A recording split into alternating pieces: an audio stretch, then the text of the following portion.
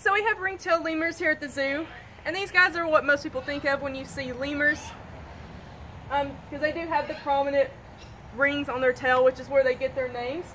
They are also from Madagascar, but they come from more southern part of Madagascar. They live in a groups of about 20 members.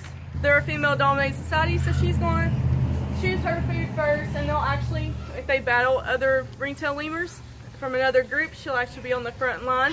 They do have scent markers on their around their tail and on their wrists, so they'll they can go up in front of another individual, and they'll wave their tail in front of them, and it's kind of a show-off thing. Um, when they have babies, they'll actually cling on to their mama's back for a couple months and then they'll get down and start adventuring. And the parent can have one baby every single year. And they hit sexual maturity around three years old, so after that she can start having her babies. Um, these guys love to eat different fruits, vegetables.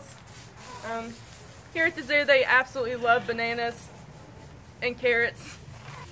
Um, these guys are very endangered out in the wild because they do only come from Madagascar just like the other lemurs and they're kind of getting taken over by human